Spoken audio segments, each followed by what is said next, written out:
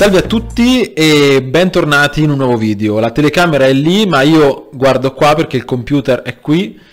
Quindi avete notato probabilmente il cambio di, di regia, ho spostato un attimo la webcam, eh, notate che ho anche messo il numero 13 di Slam Dunk come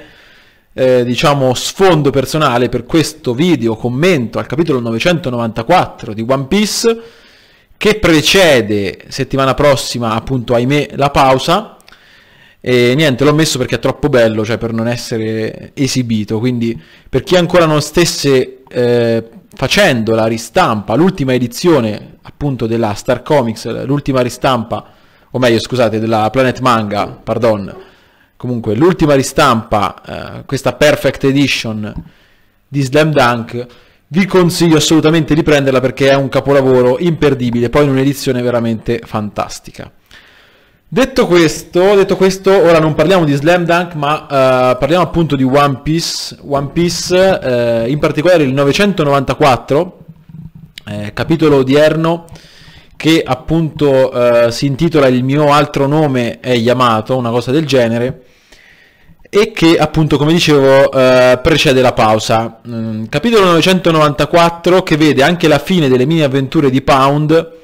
o meglio, scusate, le mini avventure eh, sì, di Pound, credo. Ecco, Pound era assoluto protagonista, anche se le mini avventure erano forse della ciurma di, dei pirati di Capone, ma eh, ripeto, il miglior personaggio di questa mini avventura è senza dubbio Pound, il miglior personaggio, anche uno dei migliori personaggi di Wall Cake Island per quanto mi riguarda.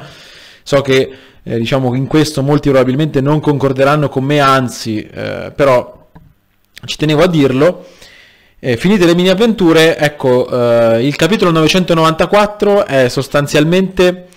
eh, un altro capitolo eh, dove non succede granché, o meglio, ehm, succedono diverse cose, anche magari importanti, però non abbiamo uno sviluppo eh, così, diciamo, ehm, incredibile della trama. Abbiamo le prime due vignette che sono un po' forse quelle eh, attorno alle quali anche oggi nella blind reaction ho avuto le maggiori aspettative, cioè il combattimento tra Kaido e Foderi Rossi che ahimè eh, è stato chiuso, è stato praticamente ehm, stoppato sul più bello quando Kaido appunto stava ritornando in forma umana e quindi pronto probabilmente a prendere ammazzate, speriamo eh, appunto finalmente i Foderi Rossi, eh, proprio sul più bello Oda ha deciso di skippare nuovamente, di tagliare e, e di procedere oltre. Um,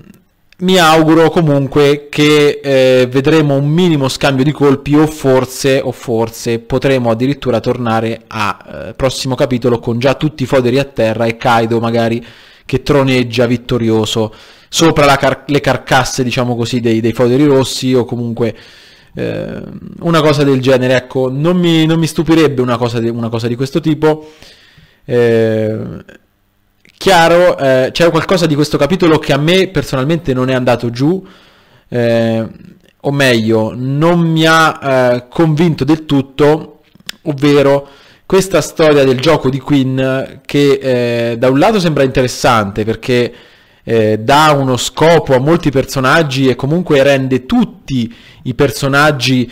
eh, che sono presenti appunto uh, a Onigashima uh, ne giustifica in, un qualche, in, una qualche maniera la, la, posizione e il comportamento perché altrimenti sarebbero 4000 e passa personaggi buttati lì così che vengono praticamente tra virgolette trascurati. Con questo gioco diciamo così del veleno e dell'antidoto eh, si dà in un qualche modo una razio, una, ehm, una ragione per, eh, per far sì che anche questi personaggi che sembrano così buttati lì a caso in realtà abbiano anche loro uno scopo e un obiettivo durante questa battaglia. Eh, quindi in questo senso ci sta la scelta di Oda, eh, che non è una scelta casuale. Oda ha sempre cercato di coinvolgere al massimo tutte eh, le figure presenti ne, nelle varie battaglie, mi ricordo ad esempio a Skypiea con il, eh, diciamo il, la Royal Rumble voluta da Ener e poi il, il Mamaragan, diciamo la, la, pioggia di fulmini sull'isola di Skypea, insomma, eh, o comunque pensate ad esempio alla gabbia di Dressrosa che si stava chiudendo sulla popolazione, la bomba eh, di Alabasta che sta per scoppiare in cima al campanile quando Pell fa quel gesto eroico, appunto purtroppo, tra virgolette, non morendo, avrebbe fatto una morte epica. Eh, quindi ecco, sono tutte scelte narrative che Oda mette per in un certo qual modo coinvolgere tutto il pubblico, tra virgolette, eh, delle sue storie, quindi anche quei personaggi un po' secondari. La cosa che mi fa un po' storcere il naso ehm, è il fatto che in questa saga, a Wano, eh, dove ci sono tantissimi personaggi anche importanti, Oda ha deciso ad esempio di skippare del tutto il combattimento tra Jack e i visoni, quindi facendolo, liquidandolo in una, in una vignetta, e poi eh, adesso non so quanto durerà questa caccia al tesoro, diciamo, del veleno, io spero poco, ma spero appunto di non rivedere una caccia ad Apu, per dire una corsa campestre dietro Apu, Scratchman Apu, di due o tre capitoli, eh, quando mi liquidi Jack in una vignetta, mi liquidi per ora Orochi in una vignetta, ma su Orochi io credo appunto 100% che sia ancora vivo e che comunque tornerà eh, appunto dicendo la sua, magari anche ehm, contro Kaido, quindi anche Orochi magari avrà un ruolo contro Kaido in questa saga. Eh, ecco, mi, mi, liquidi però un Jack in una vignetta e poi c'è il rischio che mi dedichi uno o più capitoli alla corsa campestre di Apu. Io spero, viva, spero vivamente di no, spero di non vedere un'altra scena tipo la scalata del Colosseo di Dressrosa, perché già è il secondo capitolo che vediamo Rufi, Sanji e Jimbe che corrono sui vari livelli. Ecco, mi, mi auguro che questa corsa non sia infinita, eh, perché sono queste forse le parti come la corsa di Punk Hazard dietro al gas, la corsa di Dressrosa, sulla, insomma le parti che a me, e parlo per me ovviamente, mio gusto personale di eh, fruitore, di, di appassionato, personalmente a me annoiano di più, sono le parti che mi piacciono di meno. Per il resto, eh, Queen, personaggio comunque eh, sviscerato abbastanza bene da Oda, caratterizzato bene, e per questo non credo che gli farà fare la fine di Jack, quindi spero a questo punto che sia Queen che King abbiano il loro spazio, abbiano un combattimento eh, di almeno un capitolo a testa, Queen e King, almeno un capitolo a testa, e abbiano quindi il, il ruolo che si meritano. Eh, vediamo che in questo 994, ad esempio, Chopper, Brooke, Nico Robin sembra che stiano confabulando, eh, parlando appunto di Queen come un loro obiettivo. Eh, sinceramente mi sembra un po' troppo. Eh, va detto che è curioso eh, il discorso dei match-up perché ehm, ci sono tanti possibili accoppiamenti. Abbiamo visto finora solamente un tag team, quello di Usopp e che è già archiviato da una parte eh, poi abbiamo Yamato che probabilmente ora se la vedrà con Sasaki, come si vede alla fine del capitolo, ma ecco, è abbastanza ancora tutto così eh, nebuloso per quanto riguarda gli scontri. Eh, quindi vorrei sapere anche un pochino le vostre opinioni eh, sugli eventuali scontri di Wano Kuni. C'è qualcuno eh, che ha notato la presenza di Zoro in questo capitolo e la differenza appunto tra Zoro, quello che sta facendo Zoro quello che stanno facendo Sanji e Jimbe. Allora, Sanji e Jimbe sono una bella coppia, secondo me, abbastanza comica per certi versi e amalgamata bene, che abbiamo visto già in alcune saghe precedenti. Qui sembra che stiano facendo da bodyguard per Rufy, tra l'altro è molto carina la scena, la vignetta dove appunto Sanji si arrabbia per non essere stato citato no? dagli sgherri di Kaido che parlano solamente di Jimbe e di Rufy e non citano appunto Gamba Nera. Eh, il loro scopo, è già stato detto, è quello appunto di eh, evitare che Rufy combatta e sprechi energie inutilmente in vista della battaglia contro Kaido, no? E direi che ci sta tutto. Eh, io ho sempre pensato che eh, in questa saga eh, Zoro dovrà fare qualcosa di eccezionale, come Sanji ha fatto la torta contro Big Mom, anche Zoro qui a Wano io credo debba fare qualcosa di eccezionale, quindi ho pensato dovrebbe anche lui insieme a Rufy andare contro Kaido. Ora il punto è, se Rufy viene preservato in un certo qual modo e non combatte con nessuno fino ad arrivare da Kaido,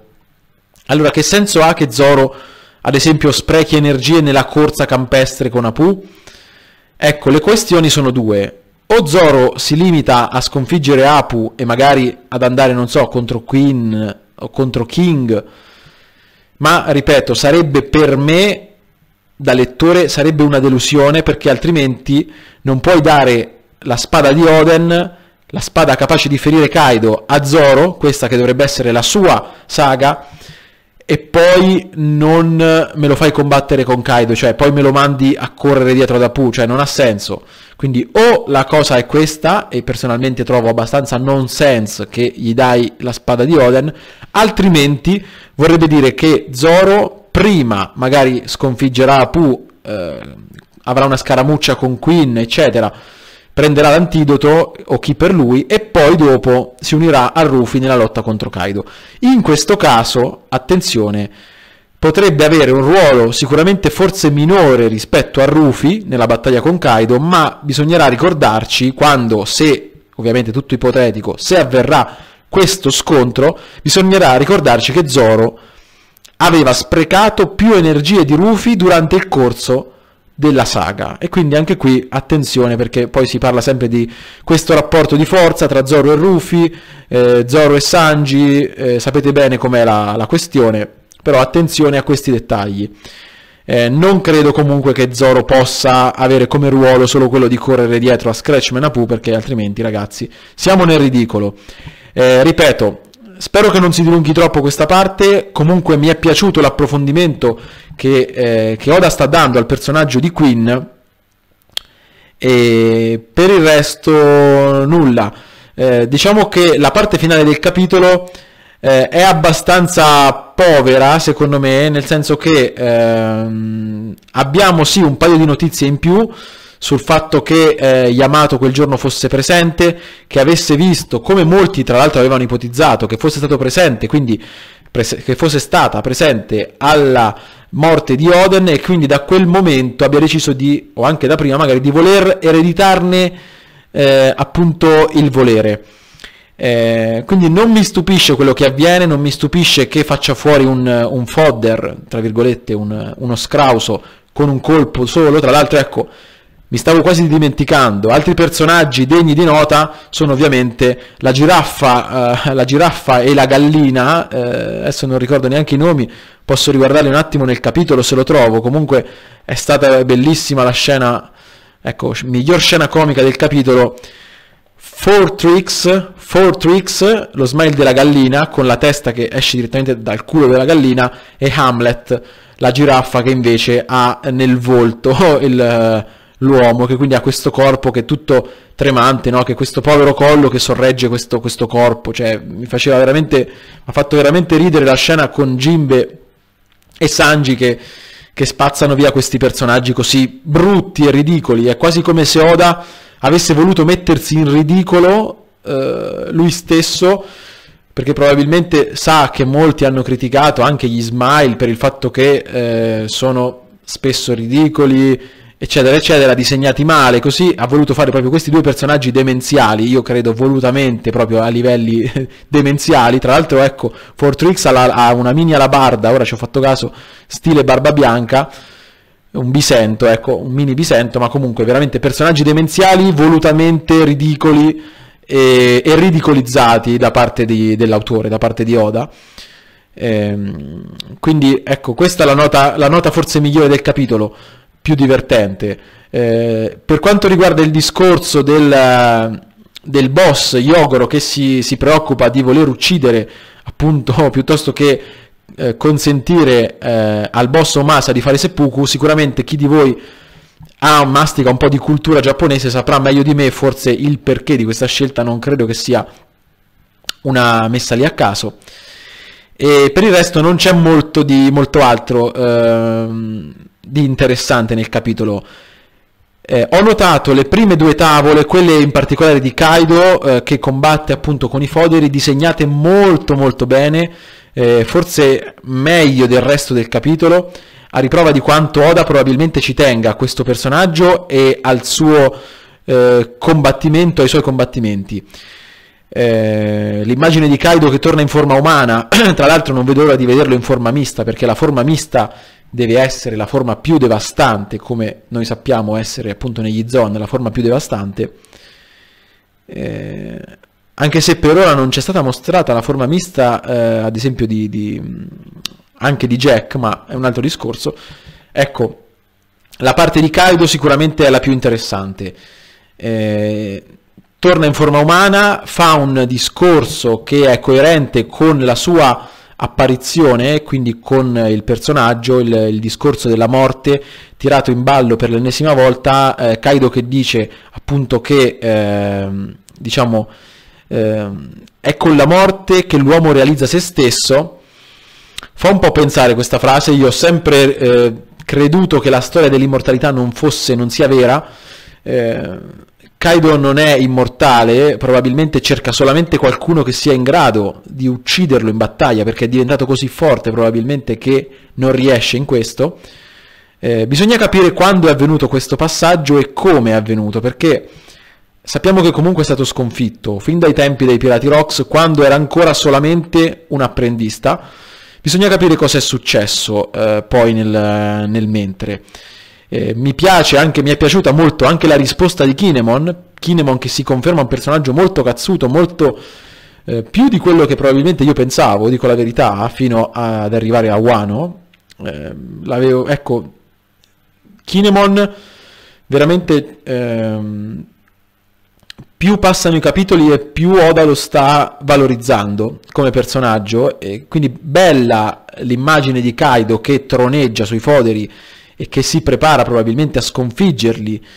eh, facendo quel discorso sulla morte, ma è molto bella anche la risposta di Kinemon che ovviamente adesso perderà, verrà sconfitto, ma dice fiero essere uccisi da te non sarebbe affatto un onore per noi. Quindi tanto di cappello alla, al testoring, diciamo, alla, allo scriptum di Oda e appunto a questo scambio di battute che ho trovato veramente come il miglior dialogo probabilmente di, del capitolo, eh, meglio anche della parte di Yamato eh, e Momonosuke. In ogni caso, vorrei sapere un pochettino le vostre impressioni, eh, fatemi sapere se volete magari una live nei prossimi giorni, visto che ci sarà anche la pausa, ne potremo discutere meglio insieme. Come sempre vi chiedo di supportarmi sui social, quindi The Name Before Tokyo, Qui sotto in descrizione trovate il link del mio profilo Instagram e potete seguirmi anche su TikTok, mi trovate come The Name Before Tokyo. La mia pagina Facebook è sempre quella, ormai straconosciuta, The Name Before Tokyo. E detto questo, ragazzi, cosa dire? Um, io credo che ci aspettano veramente dei combattimenti con i fiocchi, perché Oda sta dando molta attenzione, lo vedo anche da come disegna proprio le immagini, da come disegna le, eh, le scene eh, di scontri o comunque di eh,